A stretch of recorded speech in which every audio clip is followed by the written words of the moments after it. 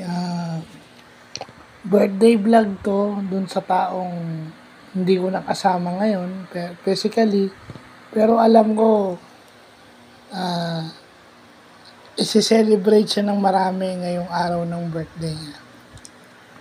So happy birthday, happy 66th birthday to the one and only ah Sir Rio Magkamit ngayong February 23 2024. So, happy 66th birthday in heaven, sir. Sana po, eh, nasa mabuti kayo, nasa, nasa piling na kayo ng may kapal.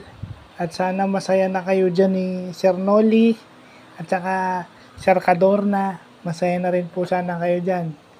Ah, sana po, eh, ah, patuloy nyo pong i-guide yung inyong pamilya, at ah, kami na rin po dito na nandito pa.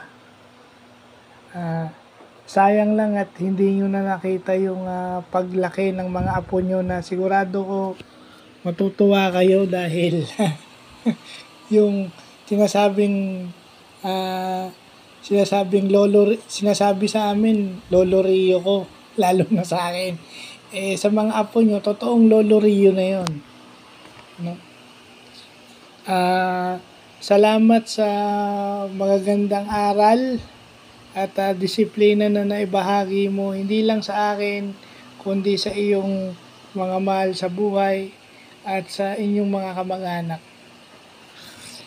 Uh, siguro hindi yun yung lagi ko sinasabi na hindi mapapalitan yung panahon namin kasi isa kayo sa mga dahilan kung bakit uh, maayos yung aming pag-uugali, maayos yung aming uh, pamumuhay, maski papano dahil nakatikim kami ng, uh, oh, nakaranas kami na maturuan mo. Kasi, hirap ngayon eh, pagka wala ng seryo, kumbaga wala ng disiplina eh.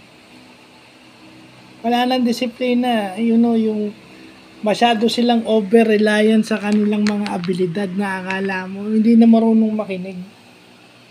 Kumbaga, laging may justification yung ano, kasi panahon ni Sir, kahit na ilang beses ka mag-justify, wala eh. So, so kung talaga, you know, kung merong teacher na may blueprint kung paano maging obedient, siguro kayo po yun. So, to, to Kiko, and uh, Shelo and then Ivan uh, sana ma-celebrate nyo ngayong araw na to si Sir dahil birthday niya. Uh, alam ko naman na nag-offer talaga kayo ng ng uh, prayer intentions uh, pag-araw ng birthday niya. So uh, sayang lang at hindi na natin siya kasama pero wala. Ganun talaga uh, we could only do as much, but we all have good memories of him. Yun ang importante. So, yun lang po.